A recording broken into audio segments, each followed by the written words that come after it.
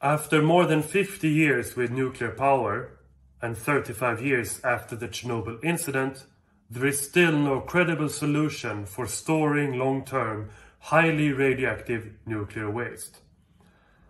Deep geological disposal is the best solution, but we still haven't found any suitable sites. Which is not surprising since most people don't want highly radioactive nuclear waste in their own backyard.